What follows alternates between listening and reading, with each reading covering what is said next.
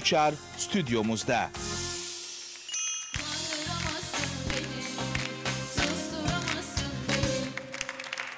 Hoş geldin. Merhaba, hoş bulduk. Şu güzel çiçeklerim için çok teşekkür ederim önce. Rica ederim. Çok- Dünden beri böyle bir hastaydım biraz. Serum aldım. Dün güle gittim e, falan filan. Bunu böyle bir geçmiş olsun çiçeği olarak bile algıladım yani. Senin Süper, haberin çok yoktu ama olsun. Çok geçmiş Evet, olsun. çok Hiç belli teşekkür değil. ederim. Hiçbir şey belli etmiyor. E, etmiyorum gerçekten. Dün çok zordu. Bugün biraz daha iyi gibiyim. Seni mesela görünce hemen şöyle hissediyorum. Hmm, acaba benim aklımdan neler geçti ki e, vücudum, bünyem böyle bir isyan etti. hemen bunları düşünüyorum. Hemen başka daha tıbbi değil de daha başka şeyler düşündürüyorsun bana. Evet. E, bana sigarayı bıraktırdın. Sen bıraktın. Hayır İlk defa ben sana sen diyorum. Evet, evet gerçekten öyle. E, Ferzan Özpetek'i ilk gördüğümde e, yani biz daha yeni bırakmıştık galiba. Yani 3-5 gün olmuştu. Allah bir şekilde beni onunla karşılaştırdı. Hani hemen kalkıp merhaba siz de böyle böyle. Alan Carr'la bana döndü dedi ki ya ben yönetmenim. Ve çok uzun seneler 4 pakete yakın içtim. Yani 3-4 paket içtim ve bıraktım. Yani ben ona parantez içinde şunu sormak istemiştim. Hani ben 3-5 gün oldu bıraktım ama çok panikteyim. Acaba hani başlar mıyım bir şey olur mu falan. 5 yıl oldu dedi. Bu konu bitti kapandı. Doğru yerdesin. Ek terapilere gitmeyi ihmal etme dedi bana ve ben iki gün sonra Evet, geldim evet. zaten. Bir gün uçağa gidiyordum değil mi Evet, geldiğimde? evet, evet. Yani o pes etmemek, o takip etmek sen yaptın öyle. Ben bir şeyler anlattım ama sen yaptın. Peki şimdi ekran başında e, bana çok mail atanlar var. Bugün bizi izleyenler var. Çok ağır tiryakiler. Hani böyle bir şeye niyetleri yok gibi ya da istiyorlar ama denedim olmuyor gibi. Sen e, bizim seminerimizde ilk lafa böyle başlamıştın. Hiç unutmuyorum. E, daha evvelden şu şu yöntemleri dinlediniz. Siz sigara içince kanser olacağınızı da biliyorsunuz. Biz size bugün zararlarını anlatmayacağız diye başladın. 6 saat süren bir seminerdi. Her 50 dakikada bir ya da saat başında bir e, Emre bize şöyle söylüyordu. Hadi şimdi sigaranızı için ama içerken düşünün. Çayınızı da için, kahvenizi de için. Allah Allah. İlkinde elim gitmiyor. Yani gerçekten artık elim gitmiyor. Beynimin içine hipnoz yapılmış gibi. Ben seni konuk aldım kendim anlatıyorum. Kaç puan? Özür dilerim. Aşk olsun ya gerçekten senin sayende bırakan çok insan oldu. Aa bırakmış mı ben de geleceğim diye bir sürü insanın bırakmasına vesile ne oldu. güzel. Bunu bangır bangır söylemekte çok fayda var. Yani e, sigarayı bırakamayacak hiç kimse yok. Herkes bırakabilir. Kaç senedir içiyor olursa olsun, günde kaç paket içiyor olursa olsun, kaç kere bırakmayı denemiş olursa olsun herkes sigarayı bırakabilir. Ama bu işin burada nasıl biteceğini bir parça öğrenmek gerekiyor galiba. Biz de o 6 saat nefes almadan böyle konuşuyoruz ve bunları anlatmaya çalışıyoruz. Bu 6 saat de çok korkutucu geliyor insana. Ne yaptın 6 saat falan? Düşündüm ben de hayatımda bir 6 saat bir yerde çok da fazla bulunmadım doğrusu ama onu biraz anlatır mısın? Altı en önemlisi saat- tiryakilerin Evet. sigara içmesine izin Evet veriliyor evet. olması. Saatte bir sigara içme araları var. Rahat olsunlar. Sigaralarıyla geliyorlar ve gün boyunca e, sigara içmeye devam ediyorlar. Biz onlara asla zararlarını anlatmıyoruz. Yani gelen insanlara neden içmemeleri gerektiğini anlatmıyoruz. Neden içmemeleri gerektiğini her içici çok iyi bilir. Niye hala yapıldığını da anlamış değilim. İçenlerin zekasına hakaret etmek gibi görüyorum. Evet. Sigaranın zararlı olduğunu bilen meslek en çok sigara içen mesleklerden birisidir. Dolayısıyla Doktorlar. sigaranın zararlarını bilmek bırakmaya yetmez. O yüzden biz orada böyle insanlara kolunu bacağını kaptıracaksın, gırtlağın delilecek, kanser olacaksın, haberi alırsan kanser olduğunun ailen şöyle hissedecek. Bunlara girmiyoruz. Bunlar bizim konumuz değil. Bunlar sigara içenlerin bildiği şeyler ama bunlar bırakmaya yetmez. Biz insanlara neden içtiklerini anlatıyoruz. Yani neden elim gidiyor? Niye çayla içiyorum, niye kahveyle içiyorum, niye yemek sonrası içiyorum, niye spordan çıkınca içiyorum, içmek zorunda mıyım, nasıl mutlu bir içmeyen olabilir miyim, mutlu bir içmeyen olmak için ne yapmak lazım diye böyle bir donanım kazandırmaya çalışıyoruz. Ee, bunun yüzde beşi fizyolojik çünkü ama yüzde doksan beşi zihinsel. Fizyolojini üç günde atlatıyoruz ama zihinsel o, o biraz çaba istiyor, onu becerdin sen. Ee, bir nikotin canavarı Var. vardı Söyleyelim mi onu? benim içimde. Eğer senin için uygunsa söyleyelim. Ee, nikotin bağımlılığı aslında kanımızdaki nikotinle yaşayan bir nikotin canavarı var içimizde. Ve bizim için böyle bir 50 dakikada bir huzursuzluk yaratır içimizde. Her 50 dakikada bir canım sigara istiyor duygusu yaratan şey kanımızın içindeki nikotinle yaşayan o pis nikotin yaratığıdır. Dışarı çıkıp bir sigara yaktığımız zaman aslında yaptığımız şey vücudumuza nikotin vermiş oluruz. Yaratık doyar, yaratık doyunca içimizdeki huzursuzluk azalır. İçimizdeki huzursuzluk azalınca biz rahatladım sanırız. Halbuki fark etmeyiz ki yaratığın ömrünü uzattığımız için bir sonraki rahatsızlığı garantileriz. Yani aslında içilen her sigara bir sonraki sigarayı tetikler. Ve bu zincirleme reaksiyonu bir yerde kırmak gerekir ama bu yüzde beşi işin. Yani bu fizyolojik nikotin canavarı işin yüzde beşi. İşin yüzde doksan beşi kafanın içindeki büyük yaratıktır. Evet. İşte biz o 6 saatte o büyük yaratıktan nasıl kurtulacağımızı gösteriyoruz. Mesela bizi dinleyenler şimdi kafalarının içinden şöyle bir ses duyuyorlardır. Atıyor atıyor öyle olmaz. Bu iş Yok seminerle atmıyor meminerle atmıyor. olmaz. Atmıyor. Bu, bu iş seminerle meminerle olmaz diye Oldu. düşünülür. Ee, oluyor o yüzde 95'i bitirmek gerekiyor. Onu başardın sen o yüzden e, bıraktın. Hatta seansın sonunda bir son sigara törenimiz var sen onu yapamadın değil mi? Gitti paket. Nasıl anlatılır o? Evet. Evet seansın sonundaki son sigaranızı içebilirsiniz dediği e, arada e, hem zaten içesim yoktu ama paketim kayboldu. Bayağı paketim kayboldu. Birisi geldi aldı onu yani. Sonra yerde gördük. Nereden cebimden oraya gitti? Sen dedin ki e, siz onu bırakmadan o sizi bırakmış zaten. Dokuz aydır hiç sigara içmiyorum. Süper. Ee, Alkış var mı? 9 Evet, ayda sigara. hiç içmiyorum. Ee, kendime olan güvenim çok arttı.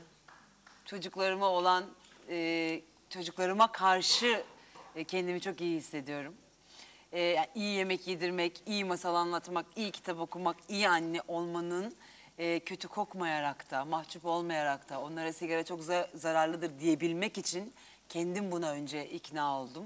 Ee, bir anne olarak çok güzel bir şey yaptım çocuklarıma ve kendime. Aa çok duygulanıyorum, iyi ki yaptım. Peki, şimdi telefon da alabiliriz ama ben merak edilen soruları da dünden beri biriktiriyorum. Sigara azaltılır mı? Bunu Okey. ben de sormuştum. Evet. Ee, Ee, bazen senden seansların dinleyelim. başında geldikleri zaman bana bir iki paket ve üzeri içenler der ki Emre benim bir tanıdığım var günde 3-5 tane içiyor. Nasıl yaparsın bilmiyorum ama kafamı öyle bir kurgula ki ben de onun gibi günde 3-5 tane içeyim sana kurs parasının 5 katını vereceğim. Derim ki olmaz mümkün değil. Sigarayı azaltmak bırakmaktan zordur. Felaket bir işkencedir. Azaltmak aslında sigaranın kıymetini arttırmaya sebep olur. Sigarayı azalttığınız zaman sigaraların arasındaki süre uzar. Aradaki süre uzayınca her sigara beklenir. Her sigara dünyanın merkezi olur. Ve bir bakarsınız ki bir süre sonra ya bu ya adam gibi bırakırım ya adam gibi içerim noktasına gelir kişi ve hiç kimse o noktada adam gibi bırakırımı seçmez. Hep adam gibi içerim tarafı seçilir ve azaltma deneyimi hep artarak Yoyo etkisi deriz biz ona. Hani yoyoyu atarsınız hızla geri döner ya Evet. artarak geri döner. Ölümcül rejim yapmanın daha çok kiloyla bitmesi gibi azaltmak hep artarak geri dönmeye sebep olabilir. Ama bazıları var ki az içiyorlar. Hani onlar böyle Evet.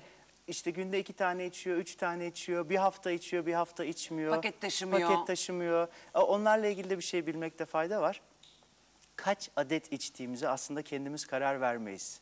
Yani kaç adet içtiğine kişi kendi karar vermez. Vücudu karar verir. Bağışıklık sistemi karar verir. Vücudu ne kadar kaldırıyorsa kişi o kadar içebilir. Dolayısıyla az içenler ya bağışıklık sistemi kaldırmadığı için az içiyordur ya da bilinç altındaki çok ciddi bir sağlık ölüm korkusundan dolayı disipline olmuştur az içiyordur. Ama az içmek bir seçim ya da tercih değildir. Dolayısıyla az bağımlı, çok bağımlı diye bir şey yoktur. Günde 3 adet içenle günde 3 paket içen aslında kullanıyor demektir bizim açımızdan. Ve çok emin olun ki günde 3 paket içen pek çok insan günde 3 adet içenden daha kolay bıraktığını çok tanık oldum. Ee, mesela günde 1'e düşürür bazıları. Dışarıdan bakınca içmeyen birine bir kaldı gibi gözükür. 10 içiyordum, 5'e indim, 3'e indim, şimdi 1'e indim. Hani içmeyen biri olmama bir sigara kaldı gibi gözükür. Halbuki günde 10 adet içtiğinden daha zihinsel bağımlı olmuştur. Çünkü 23 saat 50 dakika 10 dakikalık sigarayı bekliyor olur. Aman ya. Dolayısıyla kimse azaltmasın ne olur. Azaltmak bir Çin işkencesi gibidir. Hatta seminerlerde hep derim sevmediğiniz bir sigara içicisi tanıyorsanız ikna edin azaltsın. Ve yaşayacağı işkenceyi seyredin diye. Ee, bizi dinleyenler kimse azaltmaya çalışmasın. İşi zorlaştırır. Vay vay vay vay. Peki bunun gibi günün ilk yaptığımız telefonunu şey. alıyoruz Okey. eminim. Havva Hanım arıyor Denizli'den bizi. Merhaba Havva Hanım. İyi günler. İyi günler. Sigara içiyor Merhaba. musunuz? Elimde. Elinizde mi Elimde, şimdi? şu an elimde. Anlayamadım. Şu anda elimde. Şu anda elinizde. Bırakamıyorum. olsun. Kaç sefer bırakmaya çalıştım. Mümkünatı yok. Her şeye karşı iradem var ama buna yok yok. Yok yok. Yapamıyorum. Kaç senedir içiyorsunuz? 15 yıldır içiyorum. 15 yıldır Emre'cim şu Evet. kamera Ne senin. hanım? Havva Hanım. Havva Hanım sorununuz irade zayıflığı değil. Sorununuz Buna, buna çok zayıfım ben. Yok sorun irade zayıflığı değil sigarada. Sigara içmeye devam edenler iradeleri çok güçlü insanlardır. Siz bakmayın dışarıdaki uzmanların, sözde uzmanların bu iş irade işidir. İraden güçlüyse bırakırsın, iraden zayıfsa bırakamazsın dediğine. Asıl sorun irade zayıflığı falan değildir. Hatta seansa gelenlere kanıtlarım ben bunu bilimsel olarak. İrade güçlü olması gerekir çok içebilmek için. Bazen soruyorum seanslarda diyorum ki akşam saat 9.30-10. E, Ağzındaki sigara, elindeki son sigara. Pakette başka sigara yok. 300 metre ötede bir bakkal var, telefonu yok. Kapıcıya ulaşamadın, yürür müsün? Diyor ki yürürüm. Gittin kapalı. 300 metre ötede benzinci var. Devam eder misin? Geçen gün dedi ki Emre uzatma ne kadar yürümem gerekiyorsa yürürüm. evet. İradesi zayıflıkla ilgili değildir. Ee, düşünsenize kendimizi yavaş yavaş öldürmeye devam etmek irade istemez mi? Asıl sorun irademizin içmek isteyen tarafından kurtulamıyor olmaktır. İradeyle bırakmaya çalıştıkça sigaranın kıymetini arttırırız. O yüzden hani sigara içmek bir bağımlılıktır. Bağımlılıklar irade gücüyle çözülmez. Çözümü iradeyle direnmek değil, başka bir şeyler yapmak gerekiyor. Bu işi burada nasıl bitireceğimizi öğrenmek gerekiyor. Stres anındaki sigaranın rahatlatmadığını fark etmemiz, çayın yanındaki sigaranın keyif vermediğini fark etmemiz, sigara içtiğimiz için daha iyi konsantre olmadığımızı, içmemize rağmen konsantre olduğumuzu, bu kanser çubuğunun böyle becerileri olmadığını, rakının yanına meze olmadığını, karlı havada lastiğe zincir olmadığını, sevgilinizle kapışınca ombudsman olmadığını fark ettiğimiz zaman sigarayı bırakmak düşündüğünüzden çok daha kolay oluyor. Yani sorununuz kısacası irade zayıflığı değil. Ne oldu Havva Hanım ne oldu? Ne oldu? Havva Hanım Ben içiyorum ama çay da öyle. Çay da öyle. Efendim. çay da mı öyle? Çay tiryakili değil bugün içiyorum, alanımız. kahveyle. Ve sıkıntıyı ben bunda çıkarıyorum. Çayın büyük çoğunluğu da zaten sigaranın kötü tadına katlanmak için içiyorsunuz. Sigaradan kurtulduğunuz zaman o çaylarda azalma da olabilir merak etmeyin. Ama hani e, bir, bir iki şey var böyle anlatmak gereken hani 6 saat gerekiyor ama bir, e, sadece şunu anlattığım için bırakan insanlar biliyorum. Keşke hani bir e, hazır olsa çizebileceğim bir Tabii, şey var mı? burada Kullanabilir miyim? var. Süper. Geçelim mi oraya? Hadi geçelim. Ee, Kalem. sadece bunu çizdiğim için, bunu anlattığım için sigarayı bırakan insanlar biliyorum. Var mı kalemim? Var burada. Süper. Sen bunu çok seviyorsun. Evet çok seviyorum. Peki. ee, şimdi ne- neredeyim? Buradayım. Burada. Ee, dünyada çok karşılaşılan bir bitki var. Venüs bitkisi. 300'e yakın çeşidi var. Benim anlatacağım çeşidi belki televizyonda bir belgesel kanalda görmüş olabilirsiniz. Dışarıdan bakınca böyle çok dikkat çekici farklı bir bitki. Fakat dışarıdan bakınca gözükmeyen bir mekanizması var iç tarafında. İki tarafında karşılıklı olarak diken gibi tüyleri var. Hı? En altta da asidik bir sıvı var. Asidik sıvıyla kastettiğim şey ne? Burada hayat yok. Değdiği canlı organizmayı yok ediyor. Fakat bunların hemen üstünde çok yoğun bir sıvı tabakası, nektar tabakası var.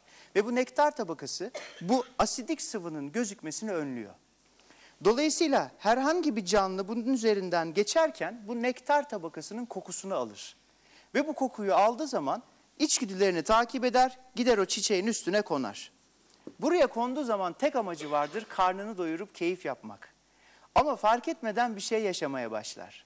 O üzerine konduğu sıvının üstünde yavaş yavaş içeri kaymaya başlar. Hı? Ve şuraya bir yere girdiği zaman bir şey fark eder. Çiçeğin alt taraflarında, aşağı kısımlarda hareketsiz duran bir sürü başka canlı var. Onları gördüğü zaman hala ne olduğunu tam anlamaz, içmeye devam eder ve şuraya bir yere gelince karnı doyar. Karnı doyunca hareket edip yoluna devam etmek ister, kanat çırpar. İlk kanat çırptığında hemen çıkamaz çünkü o sıvı ona yapışıp yoğunlaşmaya başlamış olur. Çıkamadığını fark edince korkunç bir panik yaşar, var gücüyle kanat çırpar. Ne kadar hızlı kanat çırparsa o sıvı ona o kadar hızlı dolanır. Kısa bir süre içinde kas katı kesilmeye başlar. Hareket edemez hale dönüşür ve bir şeyi fark eder. Şu andan itibaren ne yaparsam yapayım gidebileceğim tek bir yön var. O asidik sıvı. Am, bilmiyorum tanıdık geldi mi? Bir şeye benzetti mi sigara içenler? Bir şey hatırlatıyor mu? Bir çağrışım yapıyor mu? Ama şunu fark etmekte fayda var. Bu tuzakla sigara tuzağı birbirinin aynısıdır. Tek farkla sigarada buradaki o nektar bile yoktur. Ha? Şimdi şu alt taraftaki kıdemli arkadaşlara mikrofon uzatıp desek ki çıkın oradan durulur mu orada asidik bir sıvıya çok yaklaştınız biraz daha durursanız düşüp öleceksiniz. Ve bu uyarımıza şuradaki arkadaşın şöyle bir cevap verdiğini varsayalım. Ya Emre doğru söylüyorsun çok riskli bir şey yapıyorum çok tehlikeli bir bölgede duruyorum ama bu sıvıyı içmek bana büyük keyif veriyor. Beni rahatlatıyor, sakinleştiriyor. Bir de burada böyle bir sosyal ortamımız oldu. Birlikte sohbet edip eğleniyoruz. ha istesem çıkarım, istediğim an çıkarım. Göz göre göre bu asidik sıvıya düşüp ölecek halim yok. Ama şu an çıkmayı düşünmüyorum. Benim tercihim burada kalmak. Kaç kurtar kendini uyarımıza şuradaki arkadaşın da şöyle bir cevap verdiğini varsayalım. Ya bana kaç demene lüzum bile yok. Ben burada durmak istediğim için burada durmuyorum ki. Bir gün bir yere gidiyordum, bir koku aldım, kondum, kendimi burada buldum. O kadar uğraşıyorum ki çıkmaya. Ne yaparsam yapayım bu asidik sıvıya düşmeyi durduramıyorum ve buradan çıkamıyorum. Seanslarda hep şunu sorarım. Sizce bu iki arkadaştan hangisi gerçek tuzağı fark etmiş? Ve hep doğru cevap gelir. Herkes der ki çıkamıyorum diyen. Doğru cevabı veren bu. Bu arkadaşım ya tuzağın farkında değil ya da tuzağı inkar ediyor. Sigara içmeye devam edenler ne olur kaçın. Bir an önce kaçmaya çalışın. Çünkü gittiğimiz yön belli.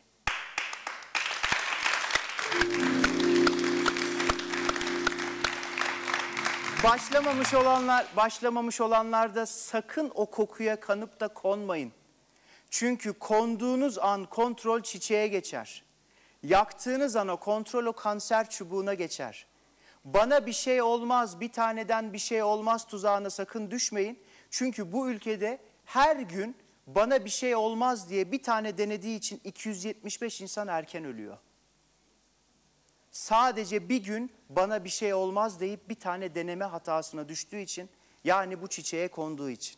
O yüzden e, ne olur bir an önce kaçın ve arkanıza sakın bakmayın. Bir şey mi kaçırıyorum? Bir şeyden vaz mı geçiyorum? İçmeye devam etmezsem bir şeyden mahrum mu kalırım diye minicik bir soru işaretiniz bile olmasın. Bir an önce kaçmaya çalışın. Alkışlarla buraya alıyoruz Emre'yi. Evet bu bizim çok etkilendiğimiz bir tabloydu. Burada kısa anlattın ama seminerde evet bu çok daha uzun anlatılıyor.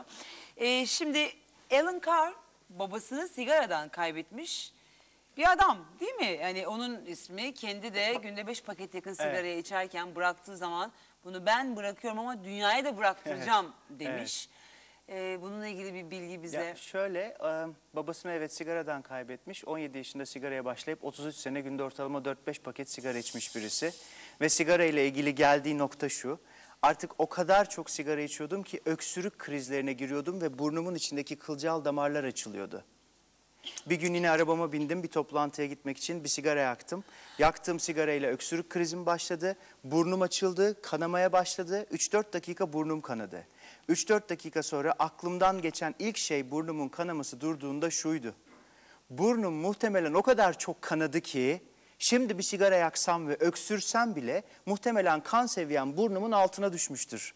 Dolayısıyla artık bir sigara içsem ve öksürük krizi başlasa bile burnumda kanayacak kan kalmamıştır.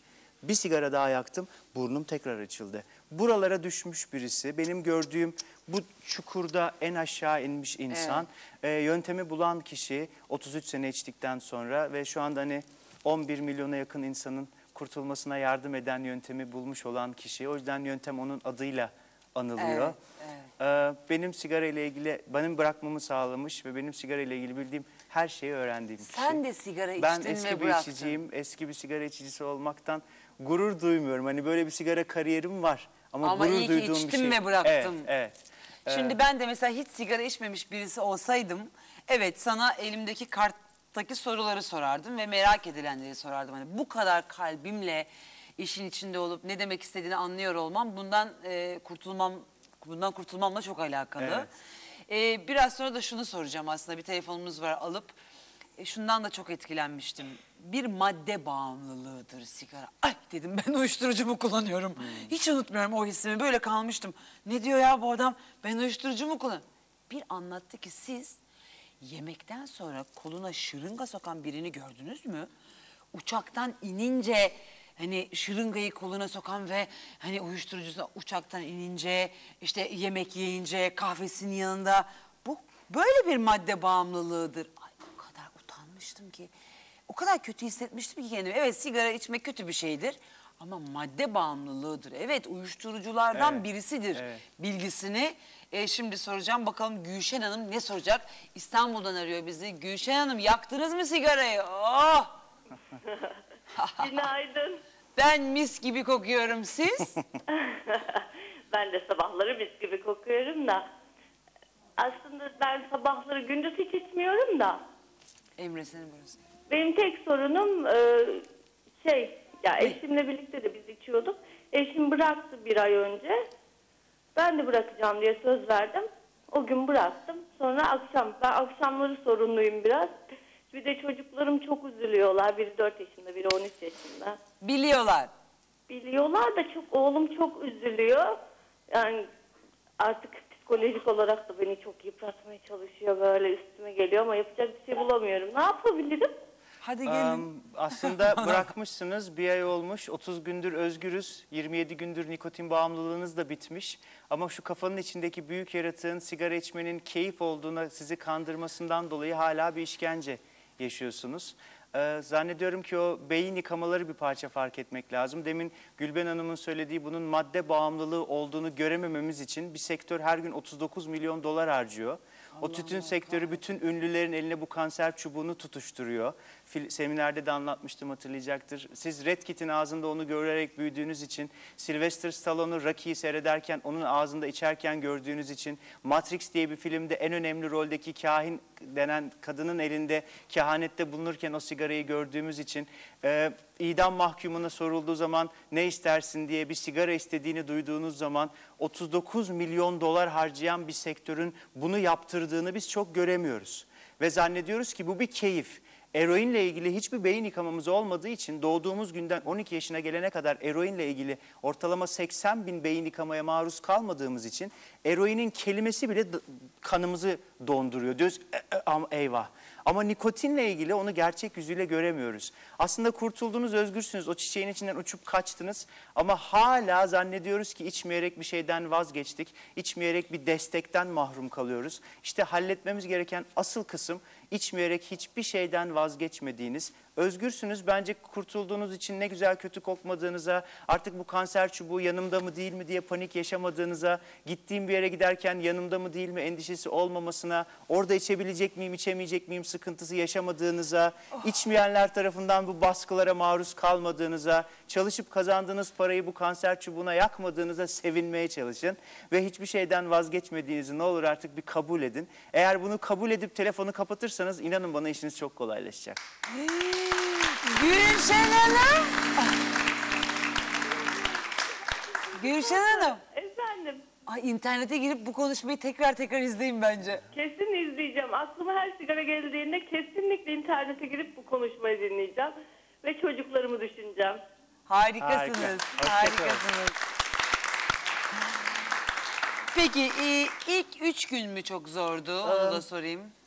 Nispeten evet. Eğer ilk üç günde bu değişime bir parça kapalı olursak ya da bir parça alışık olduğumuz şeyle devam etmek istersek ilk üç gün evet biraz nispeten daha zor gibi. Ama ondan sonra uçak kalkmış oluyor ve ondan sonra keyifli kısmını bir süre sonra yaşamaya başlıyoruz. Çünkü ondan sonra fiziksel detoksun yanına dün Gül anlattığı gibi zihinsel detoks gelmeye Evet, başlıyor. evet. Bir temizlenme, bir ruhsal arınma, bir artık keyfini çıkarmaya başlamak. Hani onlara geçtiğimiz zaman o zaman işin keyifli, e, güzel tarafı başlıyor. Ben istiyorum herkes bunu yaşasın çünkü sigara içicisi olmak hakikaten bir kader değil. Yani böyle geldi, böyle gidecek, ben asla bırakamam, başlamışız bir kere. Bu, bu, bu bakış açısına atsınlar çöpe. Kabul edilmiş. Evet bu hani değil. bu bu vazgeçmişlik, bu pes etmişlik, bu kabullenmişliği atsınlar çöpe. Şöyle bir titresinler desinler. Bir dakika ya ben her gün günde 20-30 kere 4000 zehirli dumanı içime çekmek zorunda değilim. Her gün bu kokuyu üstümde, bu tadı ağzımda taşımak için bir servet harcamak zorunda değilim. Milyonlarca insan bu kanser çubuğundan kurtulurken ben de yapabilirim diye şöyle bir titresinler. E, çok kolay. Yola çıksınlar gerisi kolay. Çok teşekkürler. Ben minnetle teşekkür Ben ediyorum teşekkür bundan ederim. kurtulduğum Çok için. Çok teşekkürler Çok teşekkür Emre'ye. Devam edecek mersi.